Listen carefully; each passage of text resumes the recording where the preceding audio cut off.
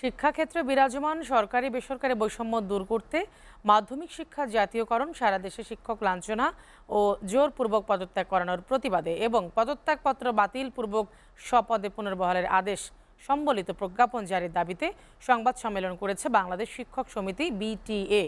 জাতীয় প্রেস ক্লাবে সংবাদ সম্মেলনে বিটিএর সভাপতি অধ্যক্ষ মোহাম্মদ বজলুর রহমান মিয়া বলেন, সারা দেশে কোমলমতি শিক্ষার্থীদের ব্যবহার করে আওয়ামী আমলে দায়িত্বপ্রাপ্ত অধ্যক্ষ ও প্রধান শিক্ষক সহ বিভিন্ন পর্যায়ের শিক্ষকদের লাঞ্ছিত ও জোরপূর্বক পদত্যাগে বাধ্য করা হচ্ছে। এর প্রতিবাদ জানায় বাংলাদেশ শিক্ষক সমিতি। এ সময় মেধাবীদের শিক্ষকতা পেশায় আকৃষ্টকরণ সহ শিক্ষাক্ষেত্রে সরকারি ও বেসরকারি বৈষম্য দূরীকরণের লক্ষ্যে মাধ্যমিক শিক্ষা জাতীয়করণ করা সহ মোট এগারো দফা দাবি পেশ করে সংগঠনটি।